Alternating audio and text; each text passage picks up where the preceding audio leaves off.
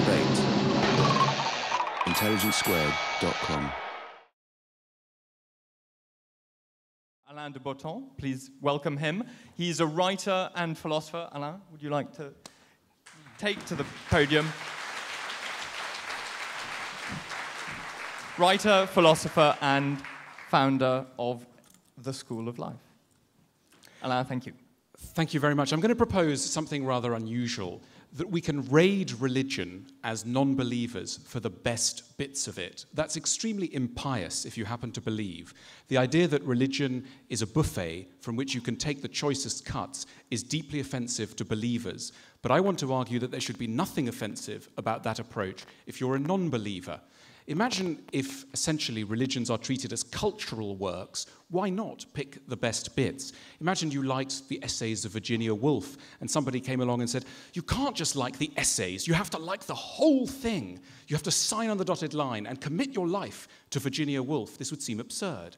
In culture, we can pick and mix. We can like a bit of the essays of this person, the plays of that person, the early novels of the third, and that's allowed. And I want to suggest that we can do something similar with religion as non believers because there are plenty of really good ideas within religion. And what I want to do now is just take you through one or two of the ideas that I think are the most tempting, most interesting within religion that appeal to me, a complete non believer. One of the ideas that I love Religions start off from the idea that all of us are close to breakdown. We are fragile, we are nervous, we are vulnerable creatures. And so, what we need above all is guidance. We need what gets called, pejoratively in the modern world, self help.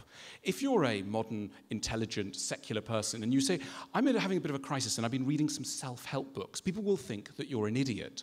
Um, they, you know, the assumption is that once you've reached uh, adult maturity, you are not in need of counsel so often. Even if you say, I'm in psychotherapy, people will say, oh, oh dear, what, you know, in what way are you crazy? Um, so the assumption is that fragility is, can be equated with, with a kind of madness.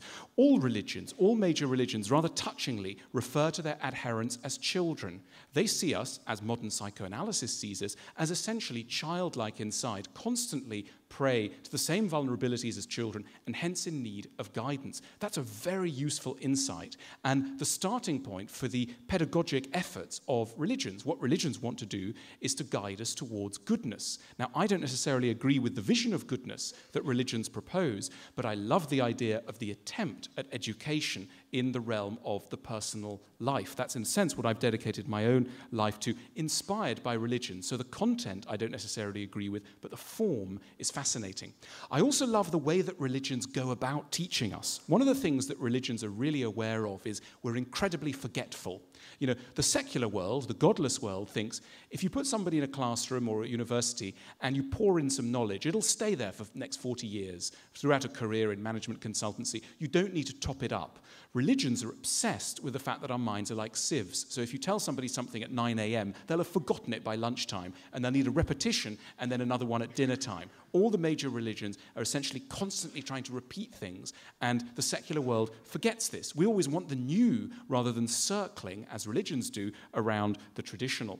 The other thing religions do wonderfully is arrange time. They create calendars, chronologies, so that we will regularly come into contact with some of the most important ideas. We believe in diaries in the secular world, but they're for scheduling things like tax returns, whereas what religions do is encounter spiritual uh, uh, uh, meetings. So, you know, on the 31st of March, you will meet Saint Jerome and you will be reminded of kindness and gentleness and lots of other things. So, I love the idea of structure as it applies to the internal life, and that's something that religions do uh, wonderfully. The other thing that religions do, of course, perfectly is rituals. Now, what is a ritual? A ritual is an elevation of what in the secular world might be a merely private moment to a communal moment that has some rules and has a fixed place within a community. In other words, we don't forget it, we don't forget to do it. Take the moon. You know, the, um, it, we always look at the moon. Some of us look at the moon and we think, oh, isn't it lovely looking at the moon? It puts things in perspective. It, you know, adds a feeling of grandeur, etc. But we don't look at the moon enough. Now, if you're a Zen Buddhist, every September that impulse, which in the secular world is rather vulnerable, gets raised into a ritual, the ritual of tsukimi. You'll go out, you'll stand on a canonical platform, and you will reflect on the moon in a ritualized way. So that, that meeting is in your diary. Something wonderful, I think, about that. The other thing that religions do really well is to remember that oratory is incredibly important when you're trying to teach someone something. I'm making a bit of a hash of it, but if you go to a Pentecostalist church, say in the Southern American uh, states, um, you will see religious oratory at its peak. There's a constant uh, call and response. The preacher says something, the audience says, Amen, Amen, Amen. You know, thank you, Jesus. Thank you, Savior. Thank you, Christ. You know, that kind of thing. I think that uh, secular people should imbibe some of this, should copy it. You know, imagine if at university, rather than sort of sitting there with your arms folded, if the preacher or the lecturer were fired up with some of the energies of Pentecostalism, you'd go, you know, thank you, Jane Austen. Thank you, Montaigne. Thank you, Shakespeare. And you'd rouse up and you'd go, Amen, Amen. And, you know, that way the knowledge would stick. But no, we just stand there very politely. Um, religions are interested in sermons, um, and the secular world's interested in lectures. What's the difference between a lecture and a sermon? Well, a sermon wants to change your life, whereas a lecture, well, just wants to impart a little bit of information. So, again, we like that. The other thing religions remember is uh, you're dealing with, with people who are not just uh, uh, minds, they're also bodies. In other words, religions are constantly trying to touch us through mind and body. So, wonderful rituals in Zen Buddhism, the Zen Buddhist tea ceremony. Now, you know, Zen Buddhism is always talking about the impermanence of life and, um, you know, the brevity of existence, etc. But it doesn't just do this through lectures. It gives us a cup of tea in a certain room, you sit in a certain way, and a philosophical lesson is bolstered by a physical action. And you get this in all religions, and it's tremendously uh, insightful uh, in terms of the way we work. The other thing religions do really well is use art. Um, uh, you know, sometimes people think, you know, what about humanism, etc. The thing about humanism is the art is so bad.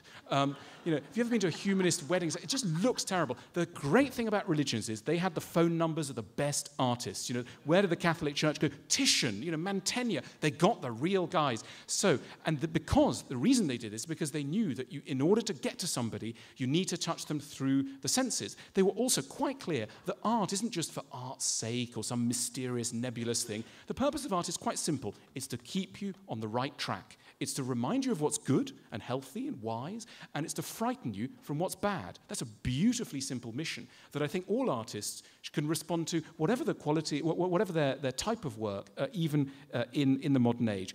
In a way, art was a form of propaganda. Titian was a propagandist, and that's normally frightening when it's Stalinist art, but when it's the art of Titian, we excuse it because it's propaganda in the name of goodness. Again, something to be uh, uh, inspired by. The other thing religions are really good at doing is cementing community. Now, all of us are normally quite bad at community. We sit there unless there's a good host in the room. Now, if there's a good host in the room, that host will say, Look, everybody, everybody introduce yourselves, and suddenly everybody starts talking. I bet none of you have really talked to anyone you didn't know here. But if I, I'm not, not going to waste up my valuable time doing this, but if I said to you now, just talk to your neighbors right now, talk to a stranger, don't do it. But if, you, if I said that to you, suddenly the conversation would flow and the sociability that's within all of you would have a chance to rise and express itself. All of us are far more social than the modern secular world allows us to be, but we're scared. We need a host. Now, religion is that host. Religion essentially brings us together in spaces and says, in this building, you can actually talk to someone without being thought a lunatic. And that's a very nice thing to do because so often our sociable impulses are, are, are stifled.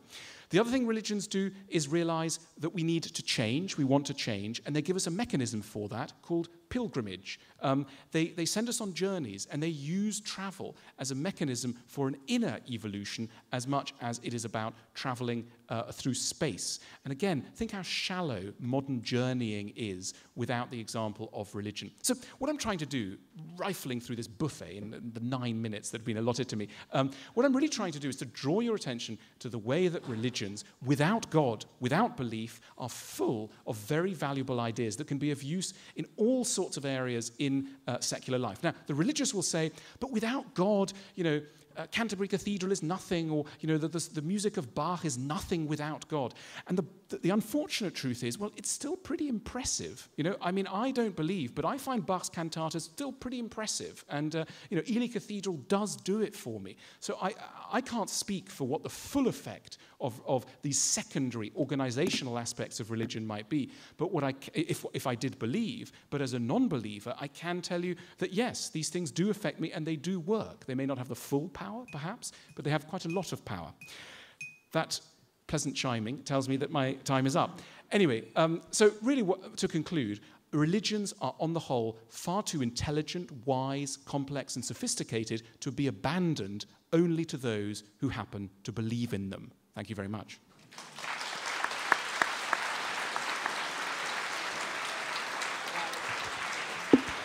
Alain, Alain, thank you very much, but please stay there because at this point, the opponents of the motion have a chance to grill you for a couple of minutes on what you've just, what they've just heard. Anne. Is this working? Yes? No.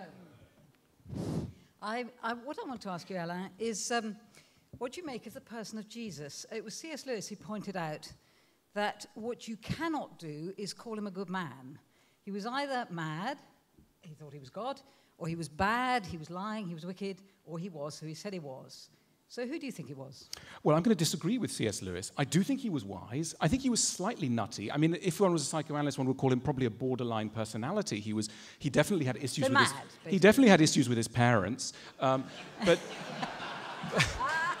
but. Uh, but, but look, I think overall he had some wise things uh, to tell us the thing got out of hand. Um, you know, it was all a bit hot headed. Um, so, look, I'm being very, very impious, and I don't really want to be because the other thing about. No, I'm not asking you. Yeah. I don't mind you being impious. Yeah. I just want you to be logical. Yes. Rational. So, being logical, I think, as I say, he's a borderline personality. Issues particularly with his father, and uh, but you know, some some intelligent things to say on a lot of things. Yeah. Can I just ask your experience of what you call the religious hosts who cause conversation? As a man who attends quite a lot of religious ceremonies, or I have done in the past, the flow of conversation in most of the churches I've gone to has been absolutely appalling, if existent at all. And I have found that the secularity of wine and uh, sexual attraction is far more powerful in uh, causing conversation. I mean, is your experience different from mine? Um, look here again. it's it's the theory and the practice. Um, you know, um, uh, as as people what do you a, mean the practice? Well, in other words, the theory, the theory of look, what I want to say is the possibility of a good encounter is sometimes enhanced by rules. What religions are quite good at doing is getting people in a room and saying, "Now this is going to happen," and that's very helpful. I mean, in medieval times, there was this wonderful feast called the Feast of Fools, and the point of the Feast of Fools was basically to say, "Now you can have an orgy. Now you can have sex with anyone you want, um, just for a day." Uh, but you know, really let go. Uh, and that's terribly useful because most of us want to let go, but we don't know when, and it becomes messy, and we have affairs, and you know, it's all becomes very perturbed. In the, in the normal Catholic uh, uh, ritual, in the medieval Catholic view, you have one day um, which is you go crazy. And this is, you know, in Brazil, you still see echoes of this in, in Carnival. Um, and then the rest of the time, order is imposed. I quite like this external support for internal needs so that you're not wholly responsible for your own impulses. The community takes them, structures them, and gets you in and out of the orgy. Terribly useful because it's often so hard to know how to get in and how to get out. So it's very useful. Feast On- of Fools. Yeah. With that, with that bit of wisdom, Alain, I think uh, we should bring the Thank question very to a stop.